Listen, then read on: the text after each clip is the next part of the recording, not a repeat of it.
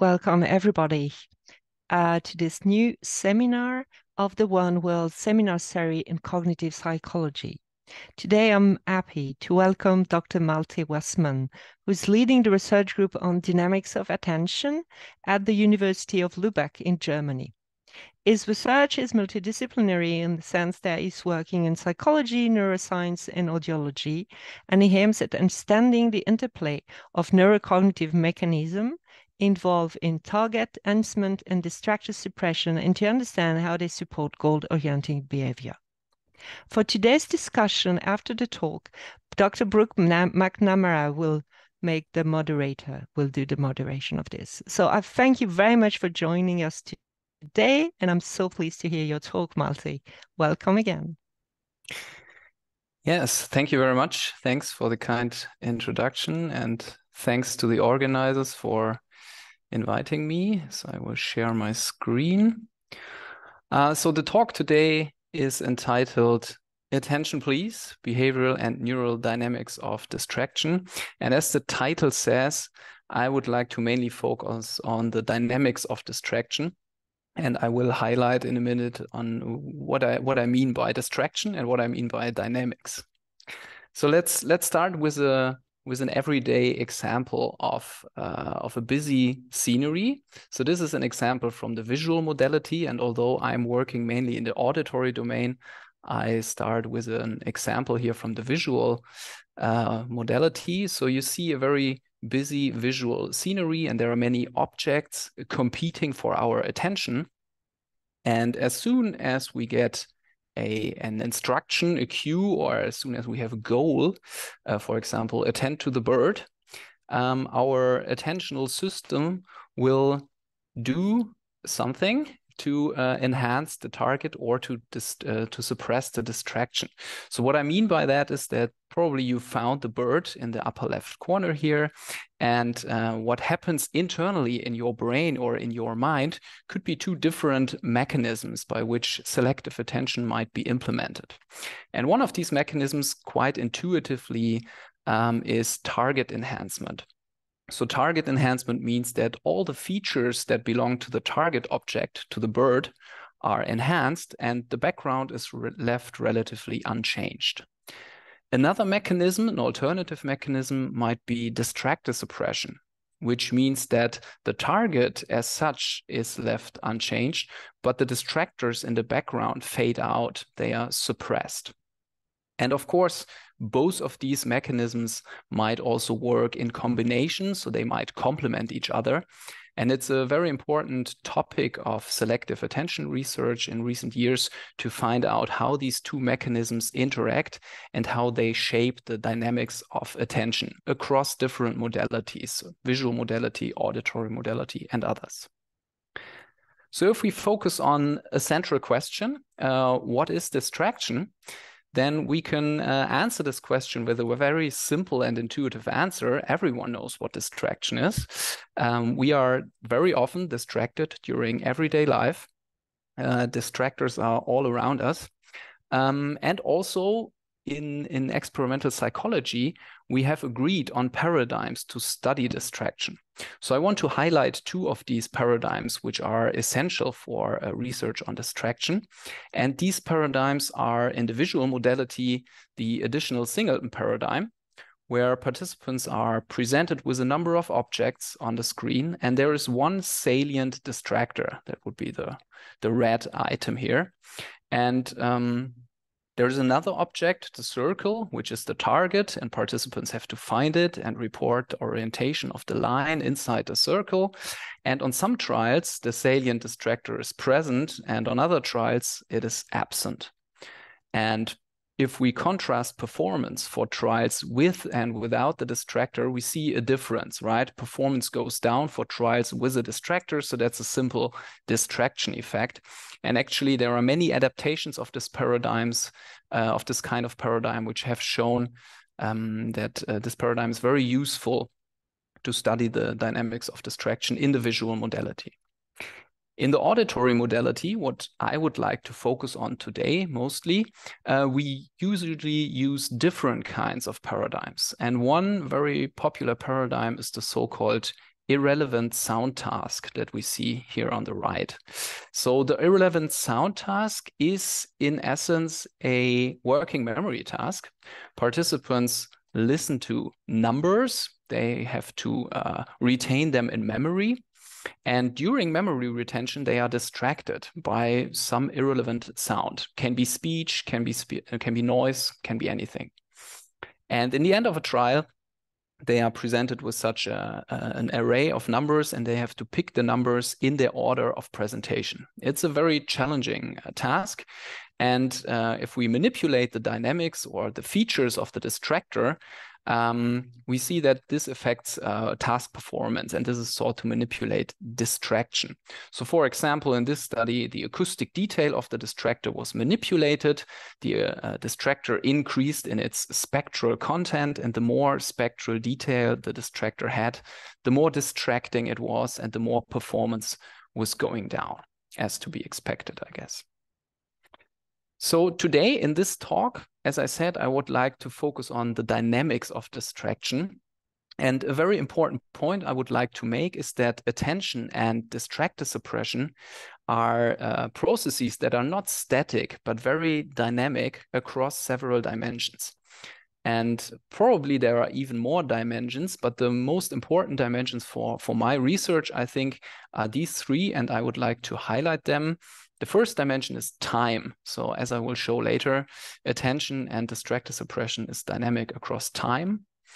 It is dynamic across space, which means that spatial cues can guide attention and space can be distrib or, or attention can be distributed in space.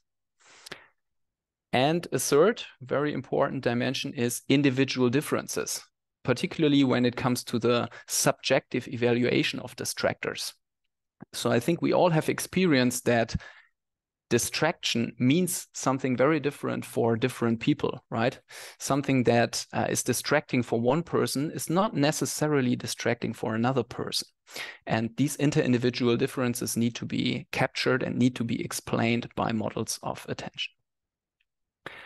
So these three dimensions basically map on the three parts of the talk. And in the first part of my talk, I would like to focus on the temporal dynamics of distractibility.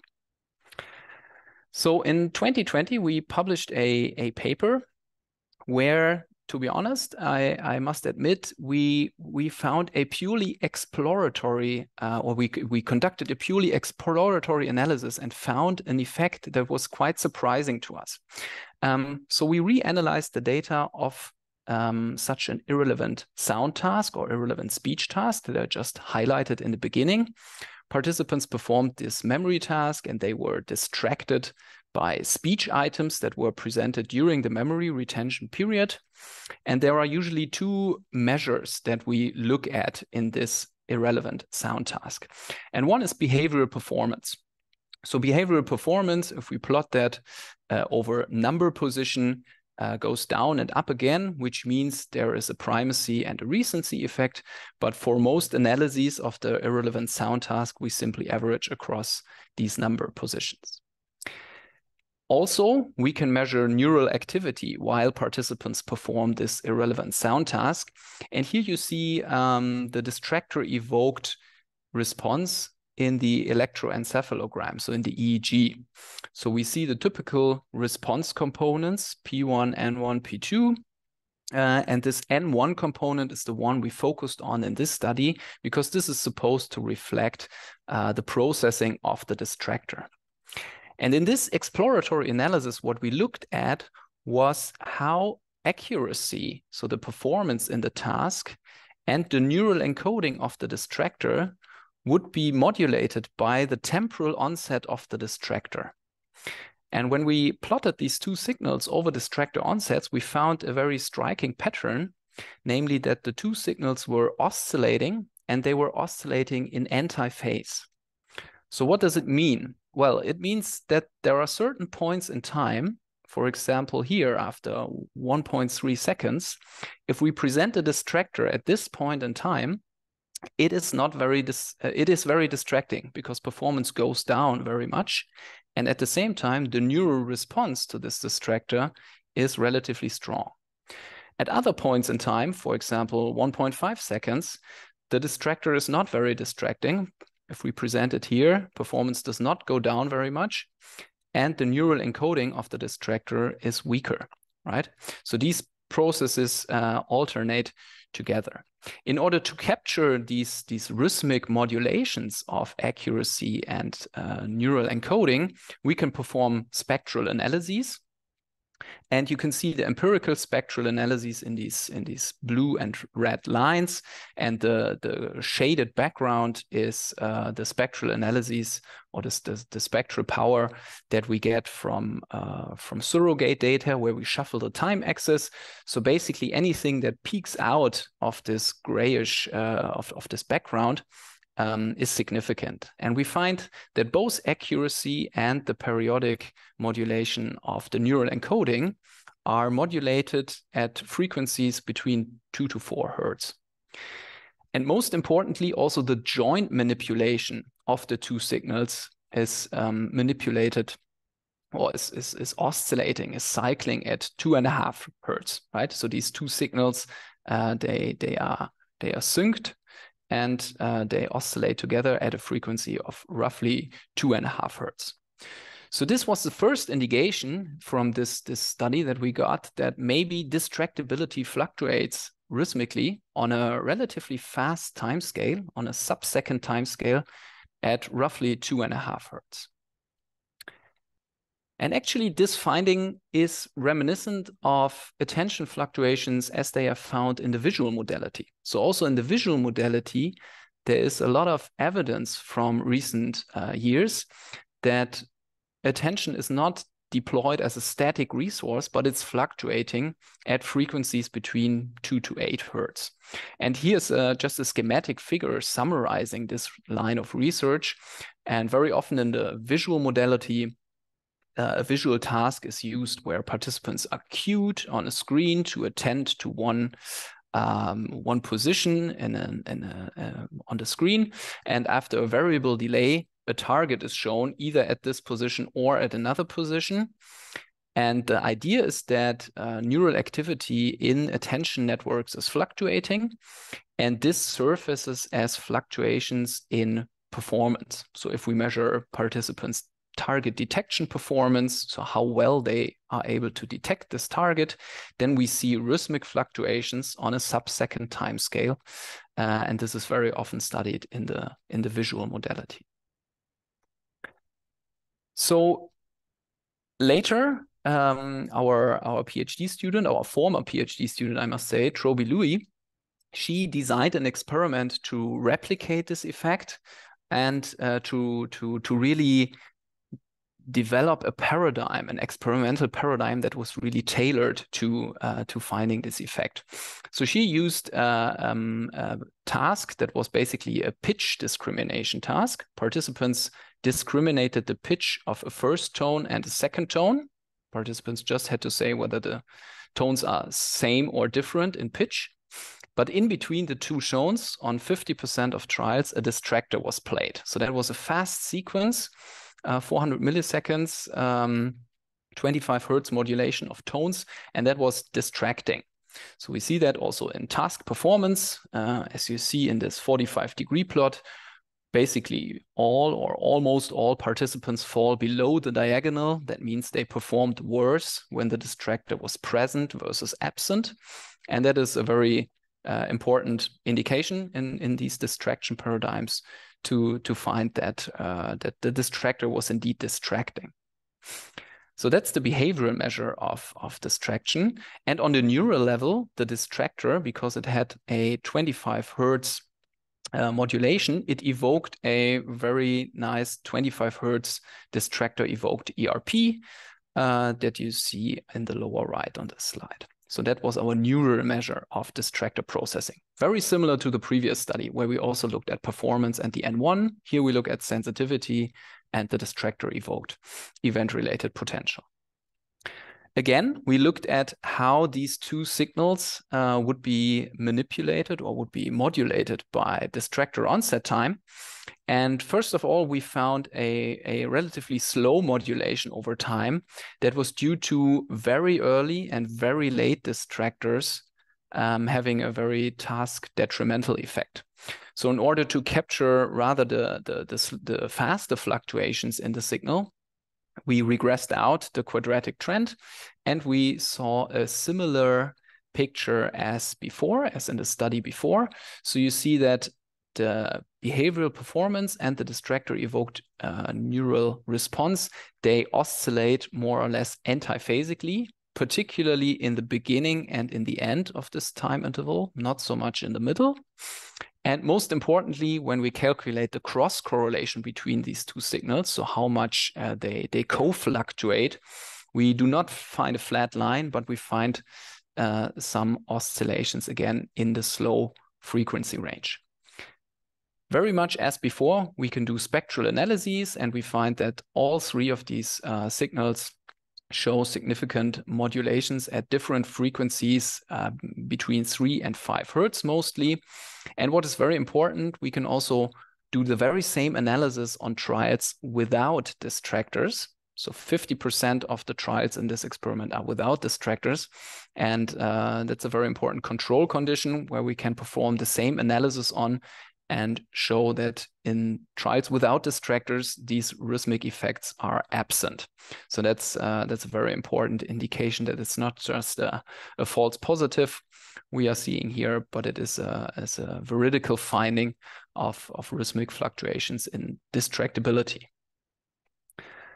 So finally, um, we reasoned that if the human brain hosts an endogenous rhythm that is underlying distractibility, which our two studies are suggesting, then the neural state just prior to the onset of a distractor should explain or should determine how distracting the distractor is, right? And in the EEG, we can chase this effect. So we can basically perform a, a cluster analysis on the source level, so on the on the level of individual voxels in the brain, and we can search for a cluster in time, frequency, uh, voxel space where brain regions show a significant relation between the phase of the neural oscillation in this brain region and performance in the task right? And we found such a such a cluster significant just before the onset of the distractor in the low frequency range, centered uh, around three to four hertz. I think it was strongest in the three hertz frequency range. And we can see the, the location of this cluster here on the right on the brain surface. That's the, the black outline in left inferior frontal cortex. So in this brain region, um, neural activity is fluctuating and the fluctuation of this of the activity in this neural region is related to sensitivity so when the distractor comes in at a certain point in time at a certain phase uh, of, of this brain region, then uh, performance or, or, distraction is high. And if it comes in at another phase, distraction is low, right? So we see this uh, relationship here uh, on the right side.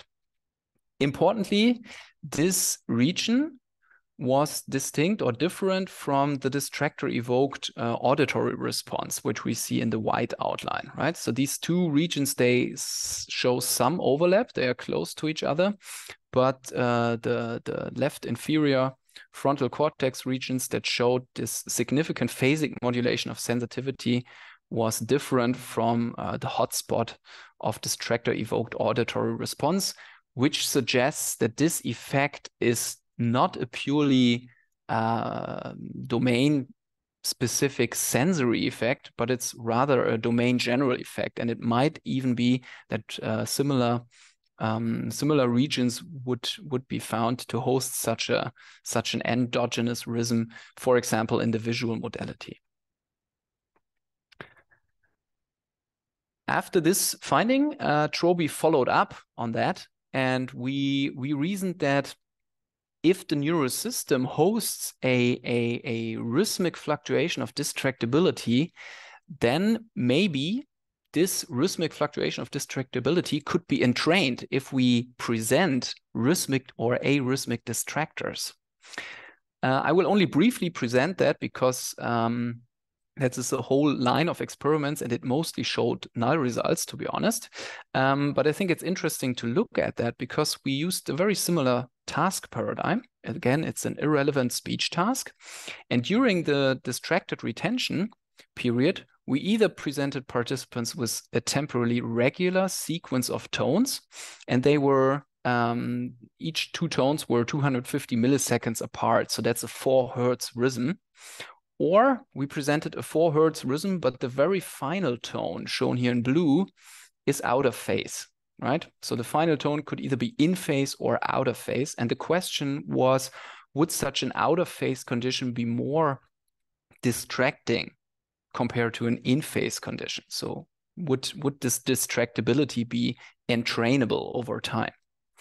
And the short answer is no, not very much. So in this experiment, we found no effect. Uh, the temporally regular stream was not more or less distracting than the other streams. And also we followed up on that in, in a whole series of other experiments where we use different kinds and, and different frequencies for our temporally regular and irregular distractors, but we did not find strong effects. There were some effects on the more metacognitive uh, outcome variables. So for example, response speed. In one of the experiments, we found that regular distractors uh, made participants respond faster compared to irregular distractors but uh, most of the effects of, of uh, temporal regularity of distractors on accuracy were either absent or, or very small. So that means that effects of temporal regularity of distraction on response behavior are quite limited.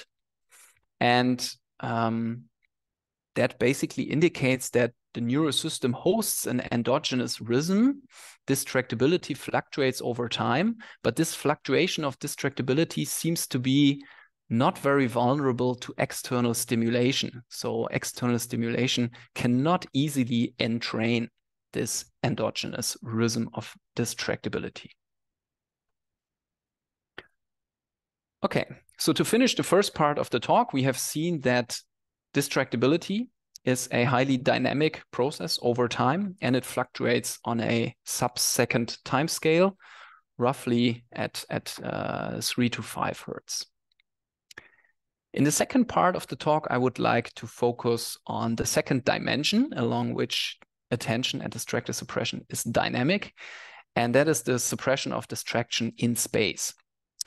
And first of all, I would like to introduce a neurosignature, a very prominent neurosignature that is related to attention, and that is the power of alpha oscillations at a frequency of roughly 10 hertz.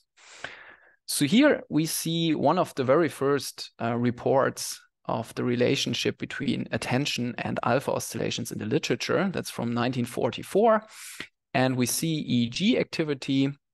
And Adrian had the participants switch attention from the visual to the auditory modality. And whenever participants did that, these rhythmic bursts in activity emerged in the EEG.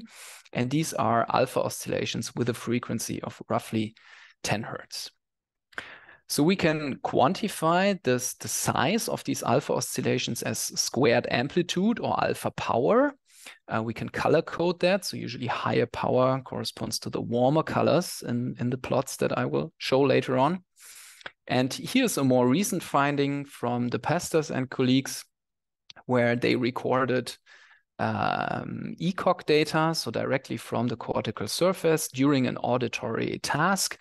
And we see that during an auditory task, alpha power relatively increases in non-auditory regions and it decreases in auditory regions. So that basically indicates that alpha oscillations uh, potentially have an inhibitory function, right? And all those brain areas which are not task relevant are inhibited and the brain region that is task relevant, which is the auditory cortex in an auditory task, is, is not inhibited. So here is a typical paradigm from our uh, from our group that we use to study uh, the modulation of these uh, alpha oscillations in spatial attention paradigms.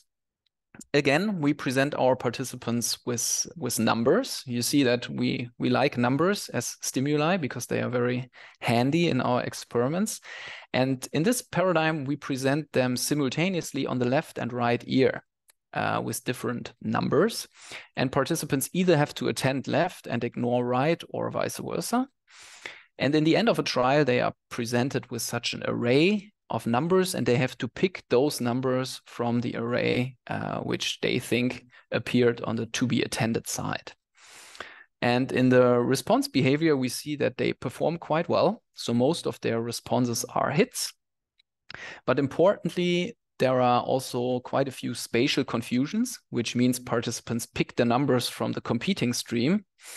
And these systematic errors, these spatial confusions, are more frequent than random errors, a random error would be picking a number that was not presented during the trial at all. So again, this difference uh, between systematic and unsystematic errors is important to uh, to to to show that the distractor was indeed distracting. Theoretically, what we would expect to happen in the brain are two mechanisms at the same time. Because we present a target on the one side and the distractor on the other side, we would expect that the neural system, the brain, hosts a mechanism to facilitate processing of the target and another mechanism that inhibits the distractor right? And because the auditory system is contralaterally organized, which means that input to the right ear is preferentially represented in the left hemisphere and vice versa, we would expect that these um, processes, the facilitation and the inhibition, show up in the two hemispheres uh, so that they show up as a, as a kind of lateralized effect. And we can measure um, these lateralized effects in the EEG or MEG. In this case, it was an MEG study that we uh, published in 2016, and this shows nicely that we find exactly that. So when we quantify the size of these alpha oscillations while participants perform a spatial attention task of this kind, we see exactly this pattern. So contrasting attend left with attend right trials gives us higher alpha activity in the left hemisphere and lower alpha activity in the right hemisphere. So that means that where whenever we shift our attention in space to the left side, uh, our alpha power increases in the left and decreases in the right hemisphere. So this is just a topographic map looking at, at, at, at the scalp from the top. We can also source localize that uh, to, to determine the, uh, the neural contributions to this effect. And if we do that, we find that mostly occipitoparietal regions, but also auditory cortex regions contribute, right? Especially here on the right, but also on the left side, we see in the temporal lobe that also auditory cortex regions contribute to this effect. So this is an interesting effect. It seems like we have uh, we have discovered something like a, a neural filter mechanism of attention um, but the question is whether these lateralized alpha oscillations are functionally relevant for spatial attention. So very often um, we show correlations only. And also this plot, for example, shows a very striking correlation, but it's just a correlation. So when we divide performance in the spatial attention task into trials where participants perform correct, so where they make four hits, or into trials where they make errors, uh, errors, um, incorrect trials with less than four hits, we see that there's a very strong difference in the hemispheric lateralization of alpha power. So this attentional modulation is much stronger and correct compared to incorrect trials. However, this does not necessarily mean that the difference in alpha lateralization is the reason for the performance difference. And in order to test this, this functional relevance, we can use uh, brain stimulation. So in this case, we use transcranial alternating current stimulation. And the, the basic rationale is that we do not measure uh, alpha oscillations with an EEG, but instead we stimulate participants' brains with alpha oscillations in order to see whether this stimulation has an effect on performance. And in this study, we, we uh, for practical reasons, we decided to, to stimulate one of the two hemispheres, and we stimulated the left hemisphere, as we see in this uh, plot here on the lower right. So we stimulated participants' brains why they performed this spatial attention task, and we stimulated them with two different frequencies. So one was alpha, that's the obvious one. This is also what we found in the previous studies. And as I said, the role of alpha, the, the hypothesized role of alpha is inhibition in attention. And as a control frequency, as an antagonist, uh, we used gamma oscillations with uh, frequency uh, above 40 hertz. And the rationale was that in the literature, it's typically reported that these two frequency bands are anti-correlated. So that means whenever alpha power is low, gamma power is high, and vice versa. So that means that the, the hypothesized role of gamma oscillations is rather facilitation than inhibition. So the effects of the two should also go in opposite directions. So on this slide, I would like to uh, highlight to, to to visually display the hypotheses we had because it's a it's a it's a bit of a complicated paradigm. But I think if I guide you through this this uh, slide, it's it's it's not so difficult uh, to to understand what our hypotheses were.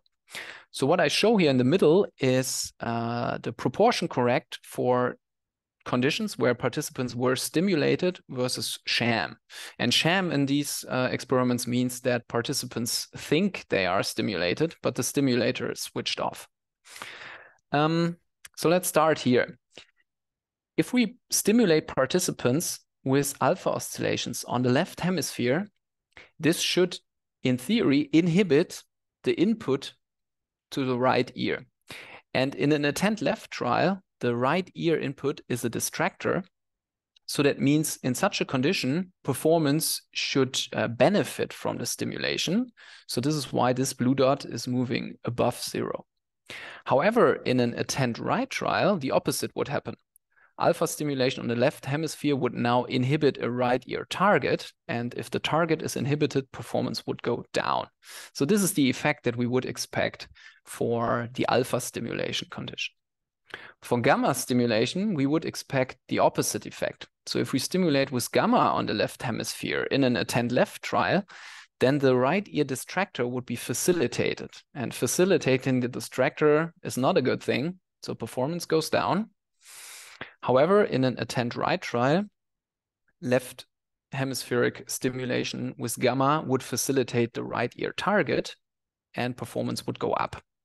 So this is a schematic um, of, of the hypotheses we had and what, what we would expect if these alpha and also gamma oscillations are functionally relevant uh, for spatial attention performance. And the actual results fit quite well to these hypothesized effects. So as you can see, they go into opposite directions, into uh, the directions that we hypothesized. And most importantly, the interaction between the alpha effect in blue and the gamma effect in pink is uh, highly significant. So that means that these alpha oscillations are indeed functionally relevant for auditory spatial attention. And the nice thing is that this basic finding has also been shown in other modalities and it also has been replicated in the auditory modality in recent years. So this is all very nice and interesting. However, there's one big problem we are having uh, in uh, spatial attention research in general, I think, and also in all the paradigms, in all the spatial attention paradigms that I presented before, because we we very often confound uh, target and distractor features in attention research. And this is also happening in our spatial attention studies. So probably you have realized that on every trial in such a spatial attention paradigm, whenever the target is on the left side, the distractor is on the right side and vice, vice versa. So these two are 100% confounded. And if we find a hemispheric lateralization of alpha power and think that this is a neurofilter mechanism of attention, we do not know whether this neurofilter mechanism of attention is driven by target enhancement or by distractor suppression or both. And we have this problem in the auditory modality and very similarly uh, in the visual modality. Uh, these hemispheric lateralizations of alpha power are most often observed in paradigms where the spatial locations of target and distractor are confounded to some extent. So we tried in one study to decouple target versus distractor suppression. Um, and it was a simple paradigm. So participants were faced with two loudspeakers in the room, and they got a spatial cue from one of the two loudspeakers. Um, so one of the two loudspeakers made a noise, basically. And a little later, the loudspeaker played a tone sequence, and participants had to indicate whether this tone sequence was increasing or decreasing in pitch. So is it going up or down? And at the same time, the other loudspeaker would also play a tone sequence, and that could either also go down or up, or uh, so it could be congruent or incongruent with the target uh, tone sequence. And in such a paradigm, if we record uh, the EEG, we see that the strongest uh, alpha power, the strongest um, amplitude, the highest amplitude of alpha oscillations occurs here in the interval in between the spatial cue and the onset of these tones. And this is also the, the time interval where we typically look at these um, hemispheric lateralizations of alpha power. The trick uh, we used in this paradigm was basically to decouple target processing and distracted processing by the arrangement of the two loudspeakers. And in order to study this uh, target processing, irrespective of distractor processing, we fixed the distractor in the front. So the distracting loudspeaker was always in the front, and the target loudspeaker was sometimes presented on the left and sometimes on the right. So we had select left and select right conditions, and the distractor was always in the front. It was fixed. To study distractor suppression, we just did the opposite. We fixed the target in the front and we varied the distractor. Sometimes it was on the right side, sometimes on the left. So we had suppress left and suppress right trials. Target performance uh, did not differ so much across these two setups. So we see performance for correct and incongruent, um, for congruent and incongruent conditions. Uh, participants performed better if the two tone sequences were both going up or both going down in a congruent condition. Um, however, in the incongruent condition, and particularly in those conditions where the target was in the front, participants performed a bit worse. Most importantly, uh, we looked in the EEG uh, at the hemispheric lateralization of alpha power for these two different scenarios for the lateral processing of targets versus the lateral processing of distractors. For the targets, we found the typical hemispheric lateralization of alpha power. This is pretty much what I've shown before probably it's also not very surprising that if we remove the, the lateral effect of the distractor by keeping it fixed in the front, we still find the hemispheric lateralization of alpha power that is known from the literature. However, more important was the question of whether this lateralization of alpha power would now flip around, it would flip in polarity if we present lateral distractors instead of lateral targets. And that was actually the case. So as you can see, the hemispheric lateralization of alpha power flips around. Um, the effect is smaller than the effect of uh, lateral target processing, but you can see that it uh, that is pretty pretty much uh, a reversal of polarity that we see over here. So basically, that means that the neural system hosts two mechanisms one for lateral target processing and one for lateral uh, distractor processing. And an obvious question if we find two mechanisms on the neural level is how do they relate to each other, right? Is it that target selection and distractor suppression on the neural level are two mechanisms that are that are strongly linked to each other, or are they largely independent? And there are different ways to test that, and two ways are shown down here. And I think they both speak to the two being not very strongly related. So on the left side, we see a simple uh, scatter plot for a correlation between the two and uh, distractor suppression on the Y, target selection on the X axis. And as you can see in the pattern, there's no simple linear relationship between the two. Um, and actually the Bayes factor even speaks to the null hypothesis. So it speaks to the absence of an effect. Um, so it, it indicates there is no strong relation. And on the right, we see a, a contrast of the two effects on the brain level. Um, so for each voxel, we can calculate whether the effect of suppression is stronger than selection or vice versa. And we see that these two processes happen also in distinct and in different uh, cortical regions, right?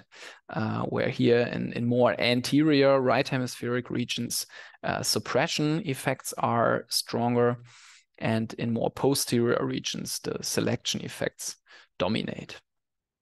So that basically means that there is no very obvious and no strong relation between the two, which in turn means that the two are largely independent. So that is also the most the most important take home message of the second part of the talk, I guess. Uh, the neural system hosts these two uh, kind of attentional filter mechanisms, and one of them is related to target enhancement, the other to distractor suppression, and the two are largely independent of each other. So in the last part of the talk, I would like to focus on individual differences of subjective versus objective hearing in noise. And uh, to motivate that a bit, I would like to show you how, how much subjective ratings or subjective evaluations of hearing in noise differ um, and these are results from the so-called acceptable noise level task. That's a that's a nice uh, psychoacoustic task where participants listen to snippets of an audiobook, and while they do that, they can adjust the noise level. And they have three tasks, so they have to adjust the noise level to a level that is not distracting, just acceptable, or clearly distracting. And usually this this just acceptable level in the middle, this is this is the main outcome measure of the acceptable noise level task. And uh, we did this experiment in a relatively large sample of participants, more than 1,000 in, a, in an online study. And you can see the distributions of the different um, of the different ratings or of the different uh, SNR adjustments that participants made here. Uh, but the most important point is that these are highly overlapping, right? And also, if we zoom in onto individual participants, we can see very different patterns. So, for some individuals, these three levels, not distracting, just acceptable, clearly distracting, are very close to each other. And for others, they are really far apart. So, there's huge variability and this variability remains to large extents, even if we regress out audiological factors or demographic information like age, gender, education, all of these uh, demographic uh, variables that might be relevant here. So basically, the, the, the punchline here is that there is very large variability uh, in hearing in noise or in noise sensitivity in the population. And one important goal for the for the auditory neuroscience, I think, is to to explain these uh, inter-individual differences. Interestingly, if we look in the literature, um, we find that not only audiological factors and demographic factors, but also personality can explain some of these differences uh, in noise tolerance, particularly so the subjective differences in noise tolerance. However, um, this might also be due to the fact that the way we measure noise tolerance and the way we measure personality are not totally independent. So if we look at typical items from questionnaires, from big five inventories that are used to measure um, the personality dimensions, neuroticism or extraversion, something like I am someone who worries a lot or I am someone who is talkative. Uh, and we look at typical questionnaires that are used to measure noise sensitivity, something like the Weinstein noise sensitivity scale, which uses the item I get annoyed when my neighbors are noisy. We see that these these items they all tap into the, the effective evaluation of noisy situations or of general situations, right? Um, And this might also explain why we find uh, a strong relation between these measures of, uh, of subjective noise tolerance or noise sensitivity and uh, personality dimensions, neuroticism, and extraversion. And in the present study, we wanted to, um, to not only assess the subjective measures of noise tolerance, but also objective measures, right? We wanted to get both, uh, both sides, basically. So we conducted an online study with, as I said, more than 1,000 participants spanning a large age range, 18 to 74 years. We did a short personality inventory and we performed three subjective hearing and noise tests, which were basically uh, the Weinstein Noise Sensitivity Scale, SSQ, which are just questionnaires, and this acceptable noise level test that I uh, introduced earlier. And we also performed an objective hearing and noise test, which was a psychoacoustic test where participants had to had to uh, in uh, had to attend to uh, digits, spoken digits presented in noise, and it was an adaptive test that determined the threshold, the SNR threshold that participants required to understand 50% of these uh, of these uh, digits that were presented. So on this slide, in this figure, um, I, I summarize the results. And what we see are standardized regression coefficients of linear models. Um, and the factors are shown here on the side. These are the personality dimensions plus age. And the, the different outcome measures are shown in the four columns. And we can focus on neuroticism and extraversion as these turned out to be also the most important um, predictors in, in previous research. And um, replicating previous studies, we find that higher levels of neuroticism predict lower noise resistance in this Weinstein noise sensitivity scale, uh, also in the SSQ and also in the ANL test.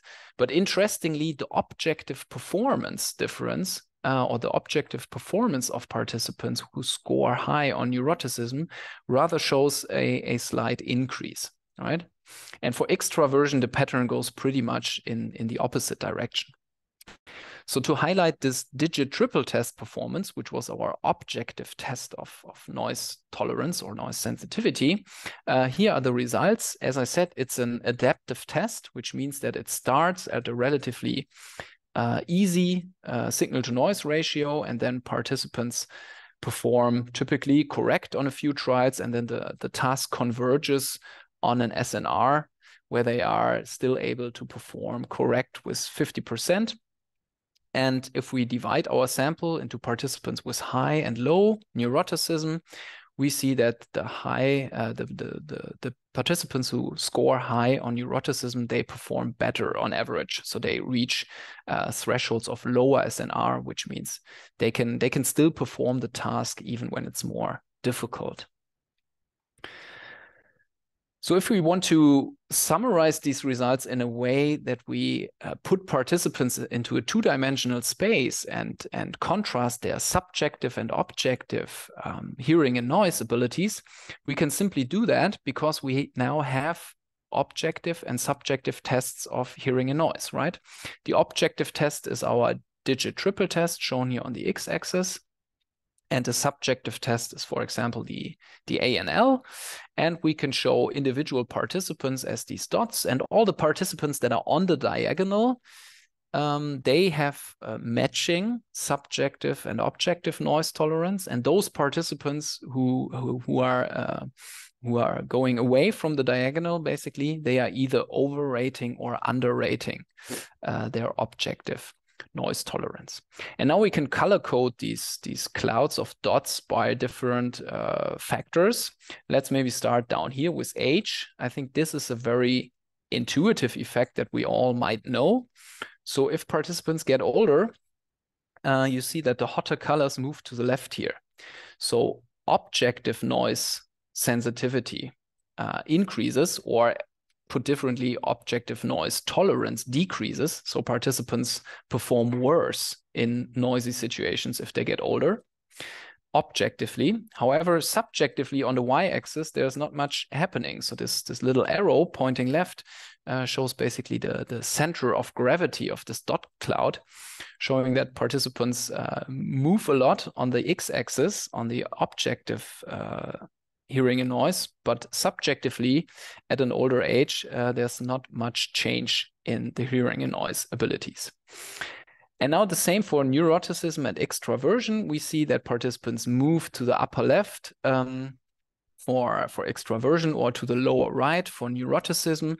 So that basically means they um, they decrease in their subjective, but they increase in their objective noise sensitivity.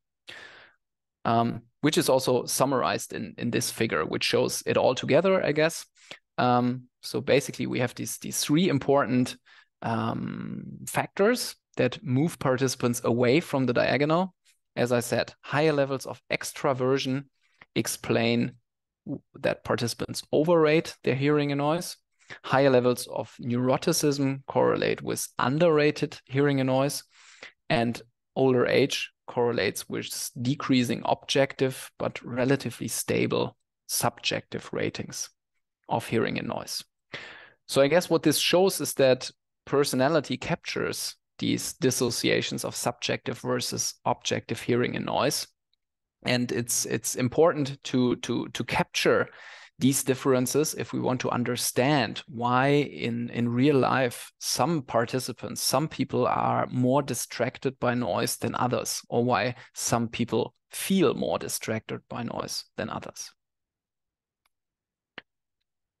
Okay so before concluding i would like to go back to one of the very initial slides that i presented which was this one um, where I presented the two paradigms that are often used in the auditory and visual modalities to study distraction.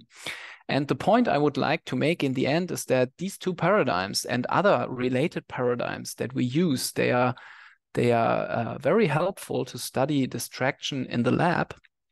But to be honest, distraction in real life is different.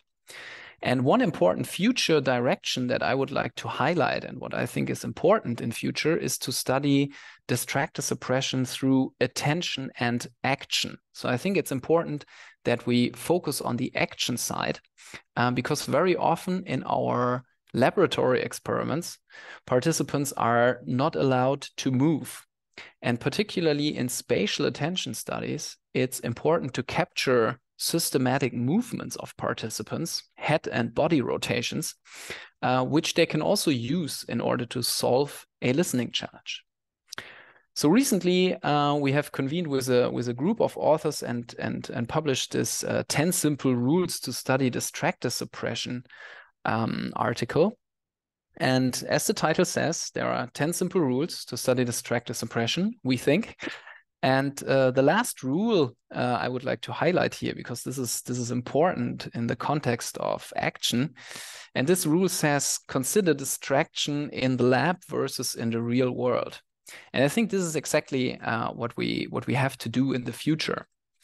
And just to give you a very bit of a flavor of what this might look like, so here's an example from from one recording of just one participant who, during such a spatial attention task, was wearing an EEG cap that also included a gyroscope. So it's a mobile EEG cap that also includes a gyroscope that records head movements.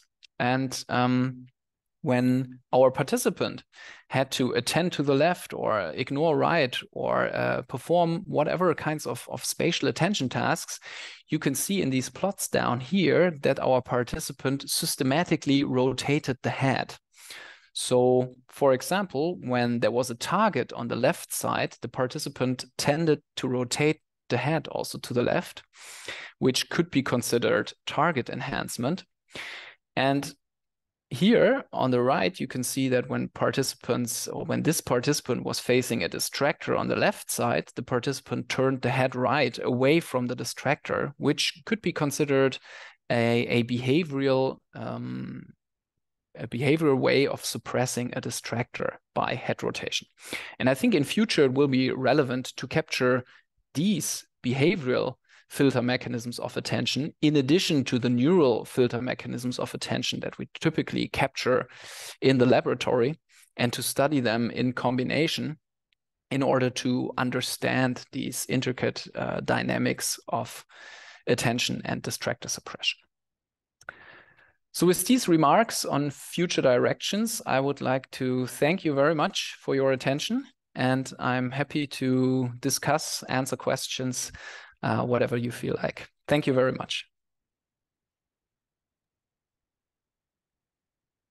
Thank you very much. That was fascinating.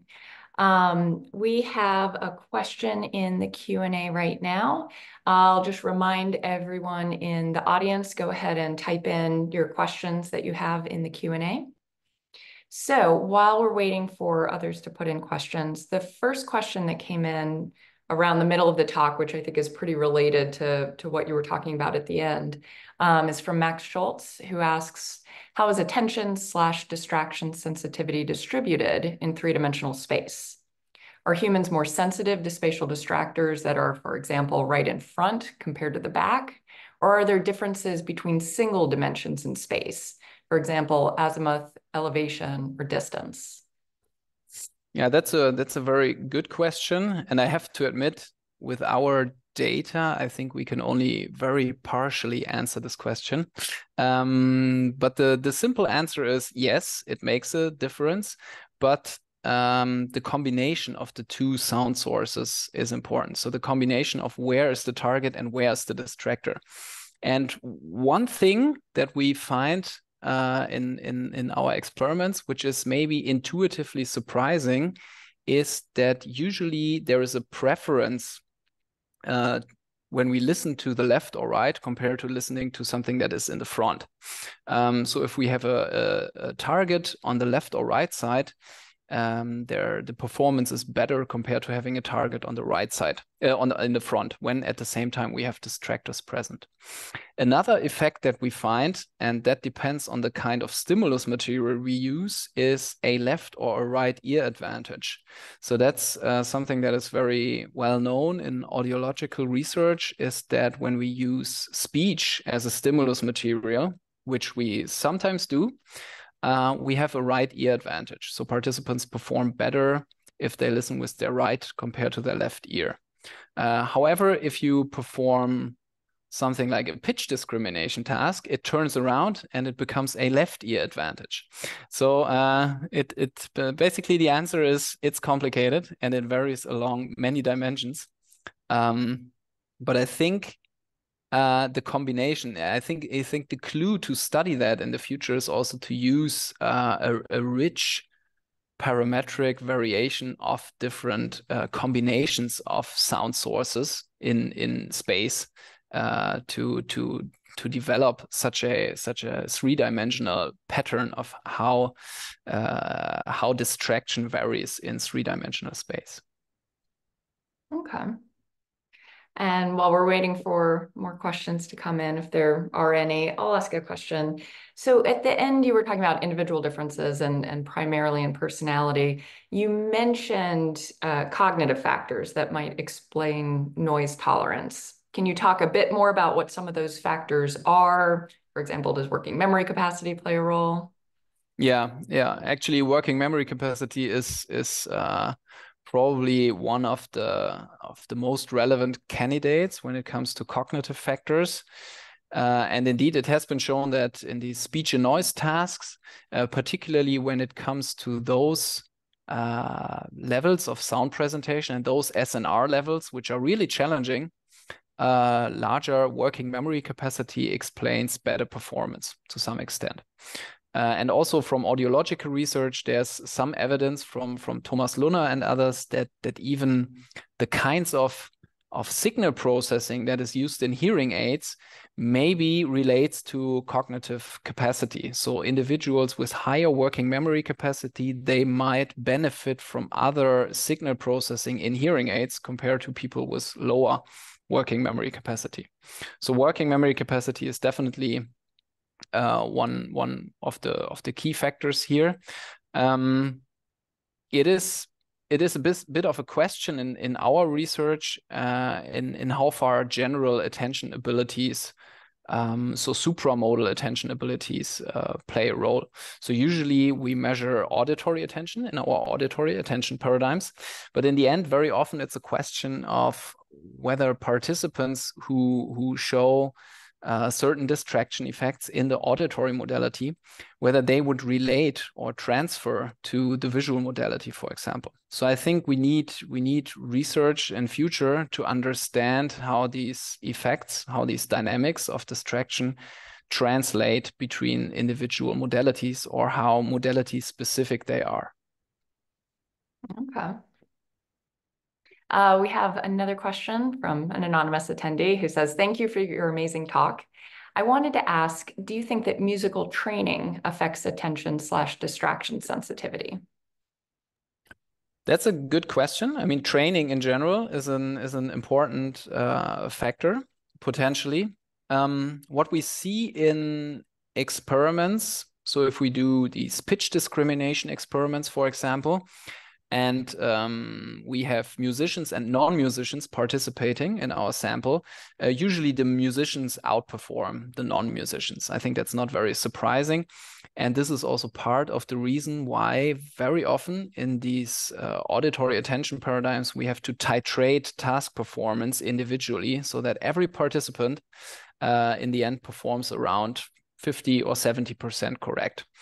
Um, training effects we we don't study training effects in our group. However uh, we sometimes see training effects in the data. So when we look at uh, how participants perform over the course of, of an experiment they sometimes get better during the experiment during the first 20 30 minutes or so and then they usually reach a plateau However, what is known from the literature is that certain aspects of these um, attention effects uh, can can be trained, of course, but the question is always how how well does it translate to other uh, to, to other paradigms, to other situations, and uh, the training effects are there, but sometimes the translation effects are rather small. So it means that well, training training makes sense and training uh, uh, can be very effective, but I would not expect that the trans translational effects of the training are are very large. Uh, so it it it depends a bit. Yeah. Okay. Jessica Alexander asks, given the endogenous distractibility rhythm you've described, have you done any investigations of speech perception in which the syllabic rate is varied? That is, is the speech at different rates more or less susceptible to distraction or to being distracting? That's a that's a cool idea actually, because the syllabic rate is pretty close to the the, the frequency that we find for our distractibility uh, dynamics, which is also around uh, three, four, five hertz. Um, we have not done research in this direction. So uh, what what what we have uh, considered doing in a future experiment, and I think is what what's what's the next step that would be necessary, is to understand whether in how far these temporal dynamics in distractibility that we found and the temporal dynamics in attentional processing that are very apparent in the in the recent literature in how far they are driven by a, a similar underlying mechanism. So that will be uh, a topic of future studies i guess um, but it's an it's an important question. It's an interesting question of how how this effect that we found for a uh, for a pitch discrimination task where no speech whatsoever was presented, how these findings would translate to a situation where we present uh, more ecologically valid stimuli in real world, which would be speech uh, at a at a at a certain uh, frequency, for example, three hertz versus four or five hertz, or in versus out of phase with the endogenous uh, distractibility uh, rhythm. So at the moment, I can only speculate, but it would be very interesting uh, to study that in the future. All right, Patrick Lemaire asks, regarding individual differences, could objective and subjective tolerance to distraction interact with people's expertise in a cognitive domain? For example, could noise while performing a math task distract less for a math expert? More generally, how does domain-specific expertise interact with domain general distractibility? It's a it's a good point. I mean, probably it will depend on on on expertise. Um, actually, in the, uh, the the study that we performed on the relation of subjective versus objective hearing and noise was an online study. So we do not have perfect control about what participants are doing and how they how exactly they are solving the task. And there are different um, potential explanations that that might be relevant to test in, in, in future experiments also.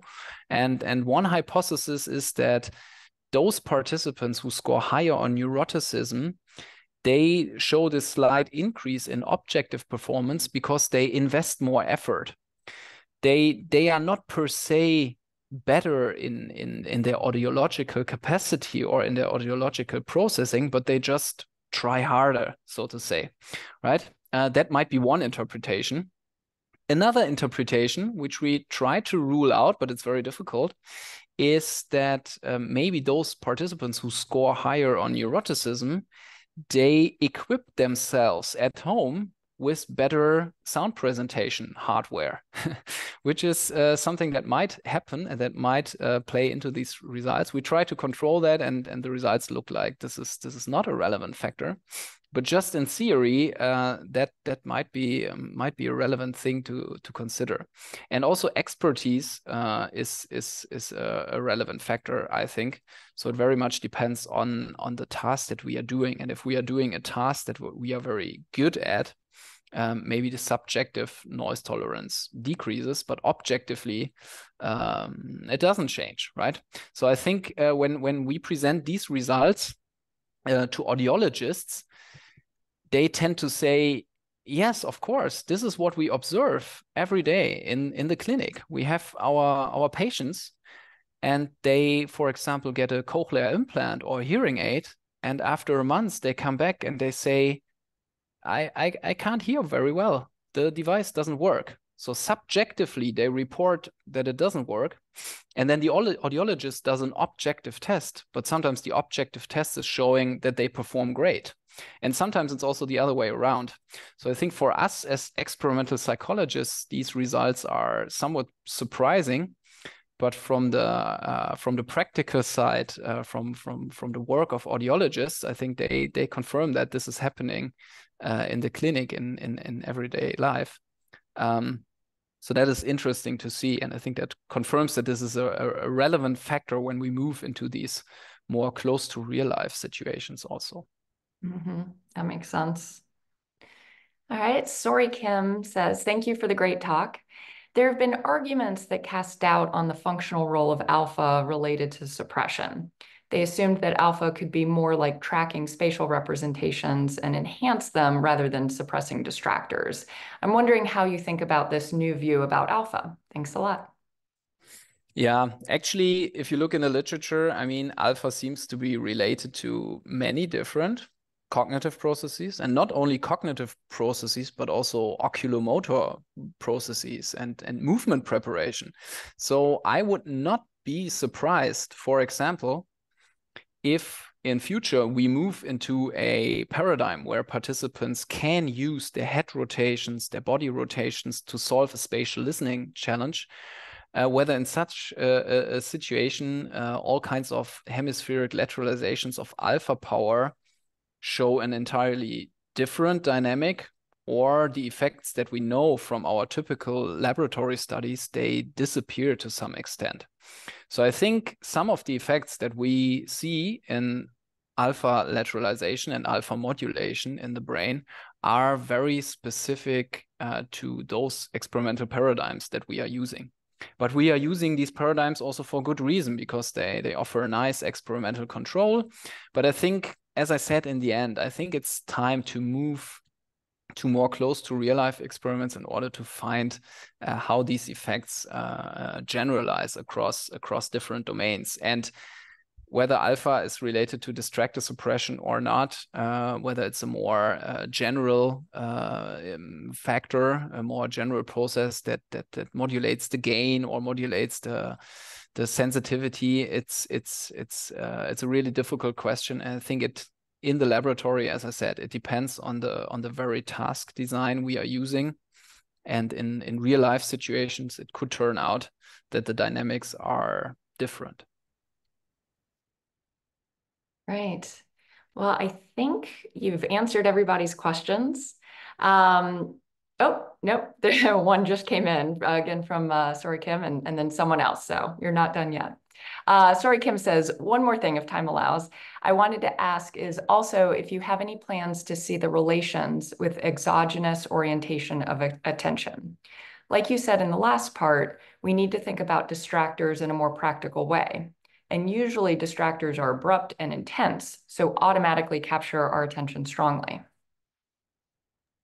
Yeah, right. Um, I think this this also very much relates to to what I presented towards the end of the talk because usually in our experiments what we do is we present a relatively large number of trials to get clean data but that also means that we present participants with targets and distractors five, six, seven hundred times during an hour or one and a half.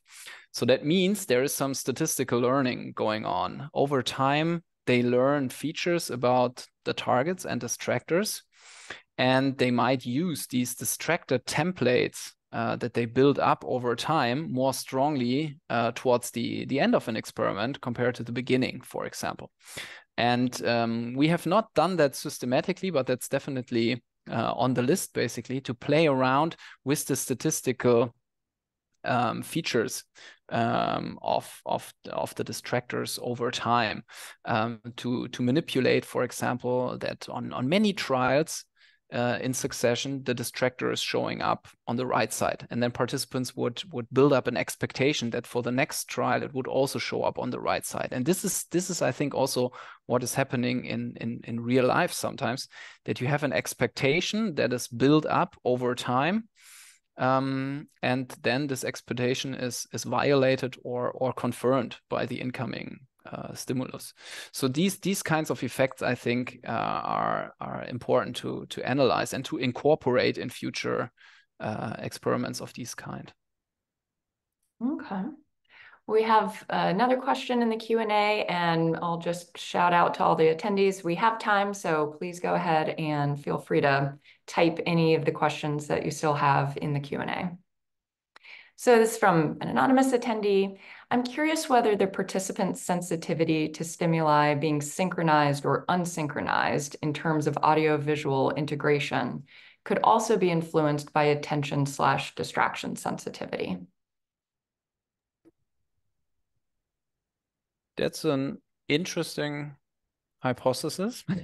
I must admit, we we never thought about testing that. Usually in our experiments, we try very hard to um, make targets and distractors perceptually appear at the same moment in time. So for example, when we present these, these numbers on the left and right side simultaneously, we typically uh, manipulate uh, the, the, the perceptual onsets of these numbers in a way that we shift them in time and put them on top of each other so that the acoustic onsets are slightly apart that to to to make sure the perceptual onsets are on top of each other so that subjectively it sounds very much like they are happening at the at the exact same time and they are very difficult to separate.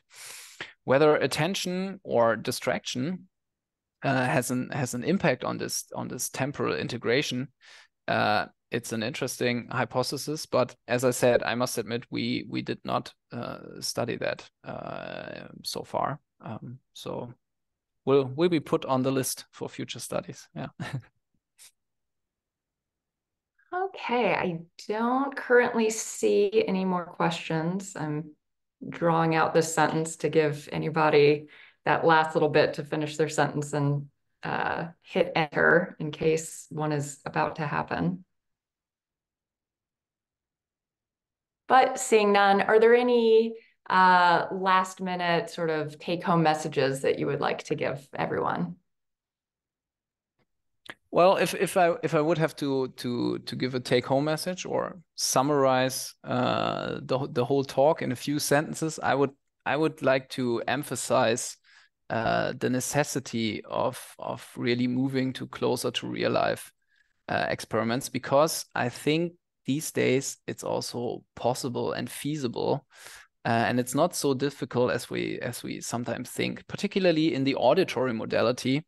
Uh, it's very simple to to measure participants body movements while they perform an experiment uh, and it's also relatively simple to uh, present sounds not over headphones, but from speakers arranged in the room in a certain uh, fashion. So that would be a, very, a first very small step to a closer to real life situation. And if we do that, and if we take further steps, then I think we can we can learn a lot, and we can learn how uh, how if and how what we find in the laboratory really translates to the real world. And I think that's that's important for the future of not only auditory neuroscience, but maybe particularly so. Wonderful. Well, thank you so much. That was a fascinating talk. And thank you to all the One World attendees. Please join us next month, March 27th. Danny Oppenheimer will be speaking about cognitive science in the age of augmented cognition. Thank you, everyone. Goodbye.